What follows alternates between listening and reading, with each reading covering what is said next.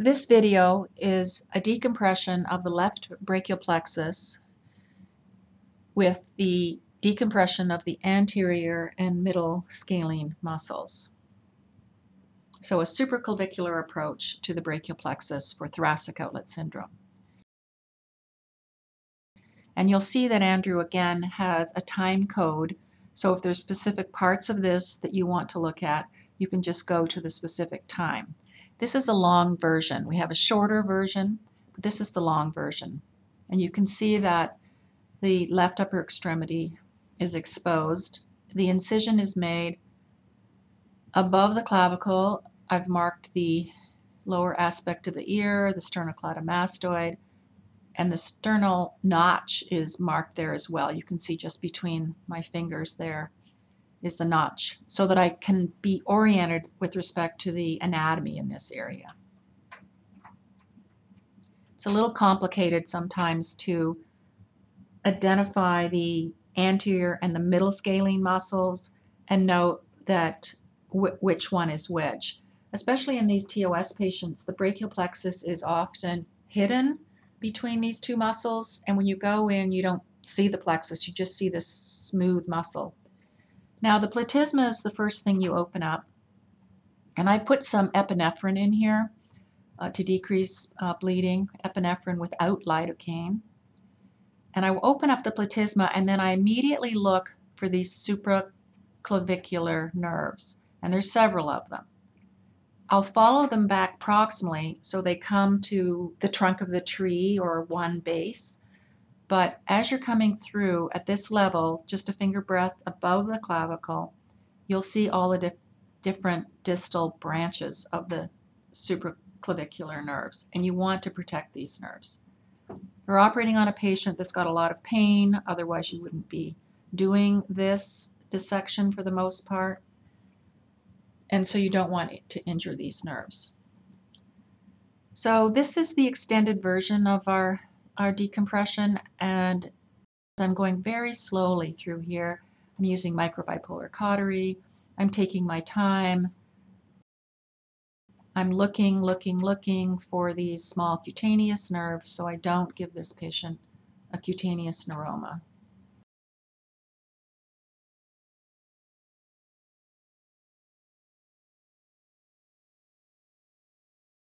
And there's several of them. When I identify them, then I'll put two vessel loops around them. This allows me to pull and tug the nerves back and forth out of the surgical field so I can get the brachial plexus decompressed. And these nerves tolerate well this tugging back and forth.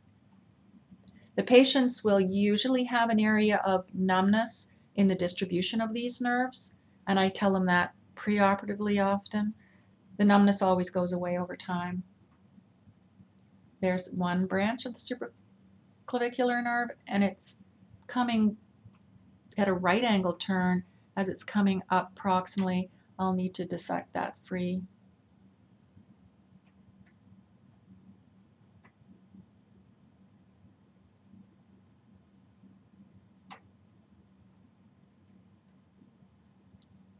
So take your time coming through here and anticipate that there'll be several. You may have noticed at the positioning picture that the patient had a tourniquet on their arm, and that's because after I'm finished this procedure on this specific patient, I'm going to do a ulnar nerve transposition. This woman has bilateral thoracic outlet and bilateral cubital tunnel, and I started with a cubital tunnel release on the right side she did well with that, and so on the left I'm going to do both the cubital and the thoracic outlet. I may need to come back and do a right thoracic outlet as well. Now I'm going to follow these little nerves proximally, and you can see that little right angle turn I was talking about. You can also see that I don't pick the nerves up with my uh, pickups there. I push them from side to side, but don't actually squeeze them or pick them up. Sort of move them around from side to side. And microbipolar cautery. And now I've loosened that little cutaneous nerve up. I can't really remember if I ever cut one of these. I don't think so. But if I did, which I'd rather not, but if I did, I would crush the nerve proximally to make a axonotometic injury, cauterize the distal end, and then bury it deep. So here's the supraclavicular nerve bundle coming together. And you can see all those three or four little distal branches coming up here to the trunk on the vein. And I can mobilize them nicely proximally so that I'll be able to pull them aside and get in to do the brachial plexus decompression. So this takes quite a bit of time uh, to do this, but I believe it's definitely a good idea. And I'm dissecting them off the vein. Sometimes we have to divide that vein and other times we don't, and I'd rather not if I didn't have to. I'd rather take the time just moving it back and forth. Now it looks like I'm pinching those nerves, but I'm not really. It's just a little gentle holding them more than anything. And you can see them coming together there as one nice little group. And I'm going to free them up so that they can move from side to side. And shortly I'll be asking for a couple of vessel loops.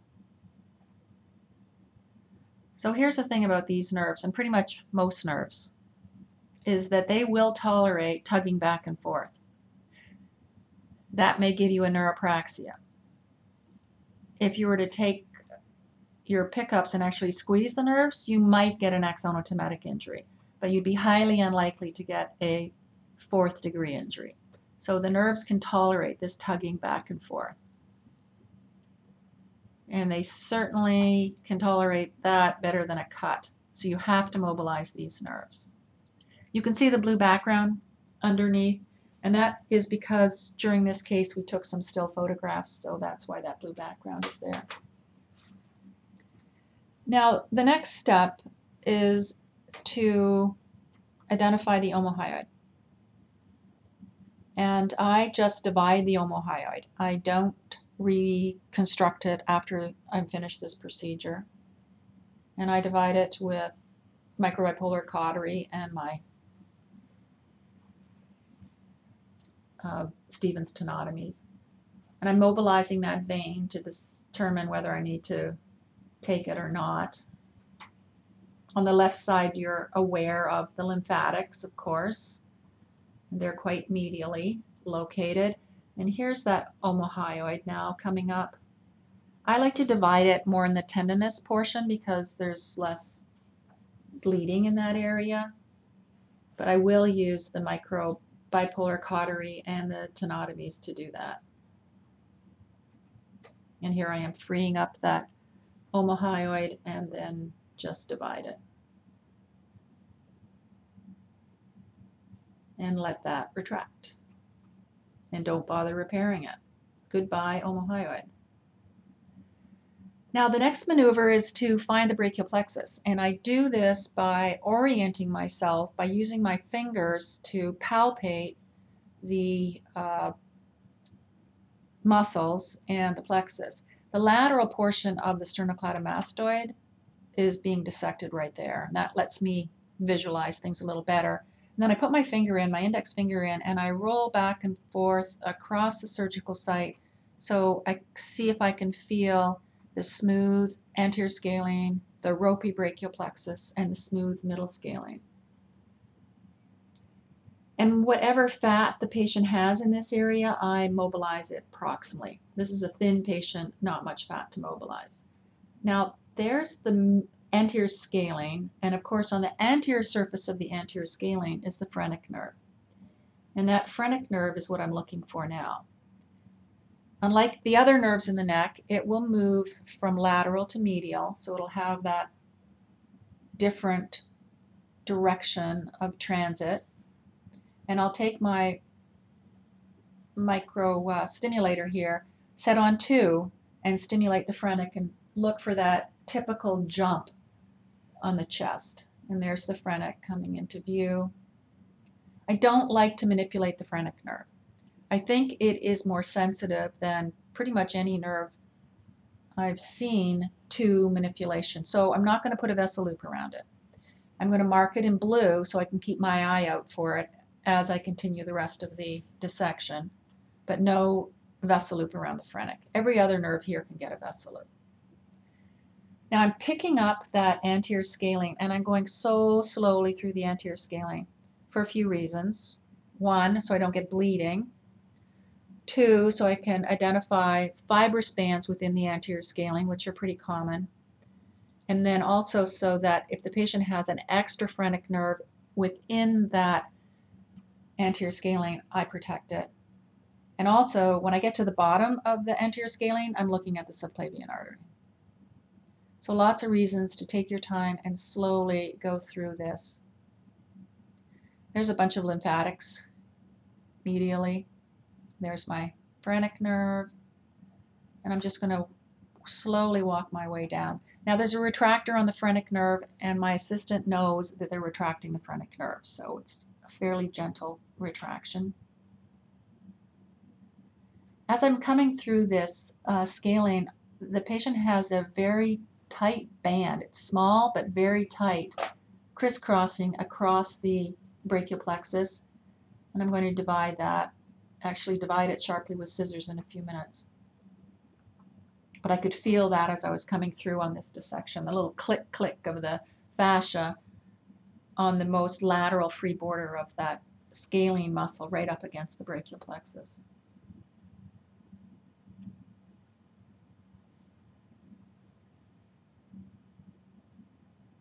Now I have a, a retractor and that's a lighted retractor. You can see that above. It's a good idea to have a lighted retractor because it's pretty much a little bit of a hole in here. That's that band I was talking about. It's really tiny but very fibrotic and compressing the uh, plexus. So as a little breather, I haven't got all of that anterior scalene done yet, but as a little breather, I'm going to go somewhere else, and that is onto the brachial plexus. So I have now the dissection right on the plexus, and I'm going on the medial side of the brachial plexus. And I'm removing all that thickened epineurium around, external epineurium around the plexus. Now there is a branch off the upper trunk on the lateral side, of course, the suprascapular nerve, but there are no branches off the medial side. So once I get the main bulk of the upper plexus, which is right there, all of this stuff or junk can go, but I'm going to go slowly through here as well just to make sure that there's any little vessels, I have them organized. And then spread it apart to make sure there's nothing exciting in there. There shouldn't be, and there isn't. So I'm going to now bipolar that. And then I'm going to walk down that medial side of the plexus to identify the upper and middle trunks, and you can see them coming into view. And I have removed the thickened epineurium around them a little more mobilization of that vein. And now I'm going to go to the other side of the brachial plexus and identify the middle scalene. So I have to lift that fat north again or, or uh, superiorly. And I'm going to find the middle scalene and look for the long thoracic nerve. So you want to elevate that fat proximally and take your time to get good hemostasis through here. You don't want to get staining of the tissue with a lot of bleeding. It slows you down, but you really don't have such good vision if you get a lot of bleeding in here. So there's the middle scalene, and I'm picking up that middle scalene, and the brachial plexus is right in front of it. So now I'm going to clean off the posterior or lateral border of the brachial plexus to separate the brachial plexus above from the middle scalene below. Now I'm going to take my nerve stimulator again and just stimulate posterior to that middle scalene. That helps me identify the long thoracic nerve. And when I did that, I didn't feel any jumping. So I've stimulated, I don't see any jumping, so I'm going to go cautiously through the middle scalene now, but thinking while I'm doing this, where is my long thoracic? Because I haven't identified my long thoracic and I need to do that. I identify it with that nerve stimulator. if I can, but now as I'm going through the middle scalene, the long thoracic can go right through the middle scalene, so I have to be pretty diligent there. And as I'm picking up that middle scalene, I can see that streak of fat, which is the long thoracic right there. Now the long thoracic, you can definitely put a vessel loop around it, and I highly recommend you do that so that you um, tug the nerve around, but you don't cut the nerve, and you don't miss the nerve as you're going right through that middle scalene down to the first rib. C5, 6, and 7 give contributions to the long thoracic, and sometimes as you're moving proximally, you will definitely see the 5, 6 or 6, 7 contribution coming together into the long thoracic. So you want to be prepared for that branching pattern. I have a number of patients who have weakness of the serratus anterior and when we see this long thoracic, I've seen veins crisscrossing across it. So I'm always wanting to neurolyse that long thoracic to look for that, to see if there's any special compression on the long thoracic it can be tethered as it moves through this muscle and just dividing this middle scalene can free up that long thoracic and improve weakness in the middle uh, or the uh, serratus anterior. Now as I'm coming through this middle scalene there's a lot of fibrous bands in it and you'll see that shortly. I'm right on the first rib now, and I want to clear the middle scalene attachment to the first rib over a very long distance. There's the lower trunk of the plexus coming up now. So I'm moving the brachial plexus medially to try to get the interface between the middle scalene and the first rib. If this looks like a slow, tedious dissection, this is a slow and tedious dissection. There's just no room for error in these procedures. Look how close that shiny fascia is to the brachial plexus. Just touching it. And everything's white. So take your time as you come through here. Now I've got the plexus retracted. I know where it is. I've got the lower plexus retracted. And so now I can come through that fascia slowly as it attaches to the first rib.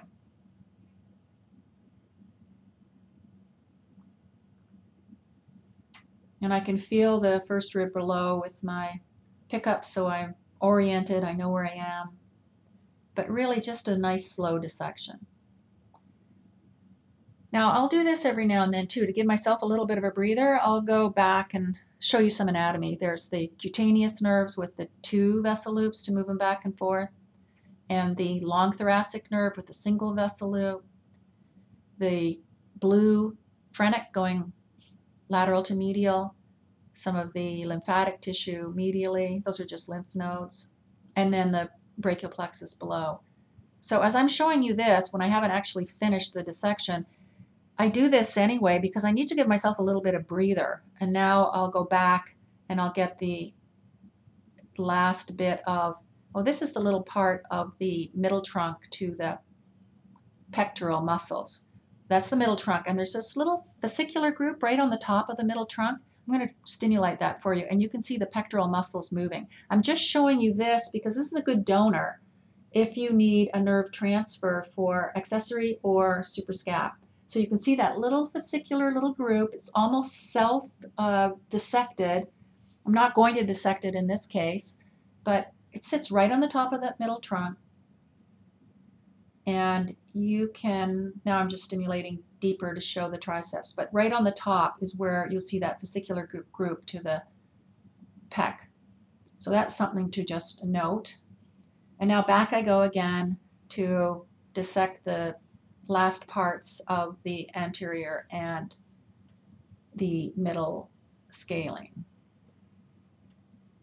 a little more of a neurolysis on the plexus.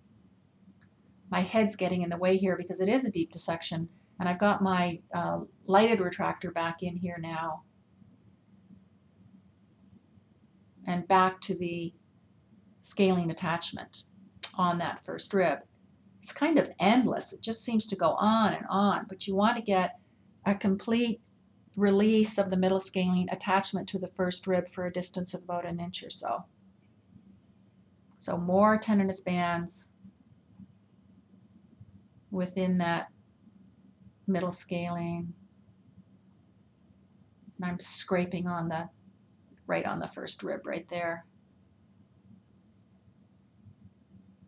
Going right down to the first rib and releasing it proximally and distally for an inch or so.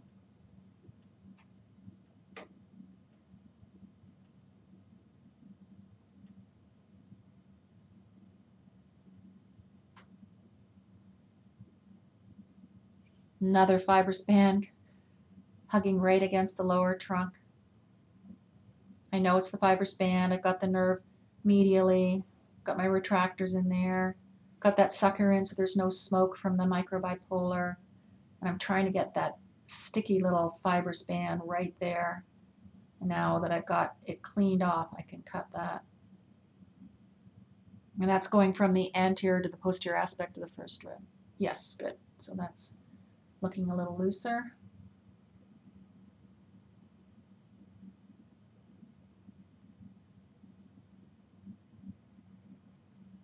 And just really a slow dissection. You can see the upper, middle, and lower trunks. You retract them, and then you divide everything else. And just go slowly and take your time.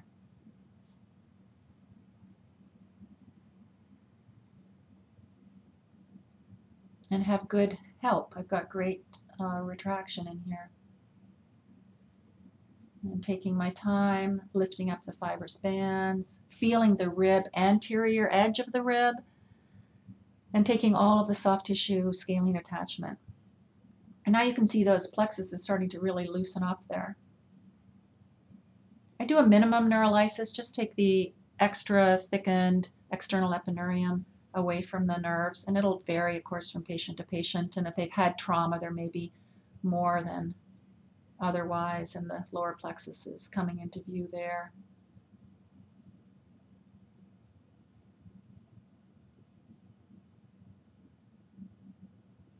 So this video is about 25 minutes long or something like that, and the procedure itself takes about an hour. So as slow as this looks, the procedure itself is twice as slow.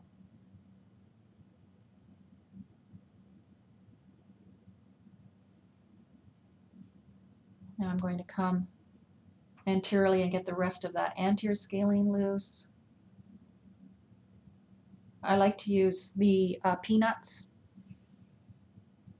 to do a little bit of the dissection and also to help with good visualization. So there's our phrenic nerve intact, long thoracic nerve intact, brachial plexus intact. If I have a neuropraxia, I'm not going to particularly worry about it because I can see everything's intact, but I want to know about it. And so that's my last um, stimulation so I know that everything's intact or not.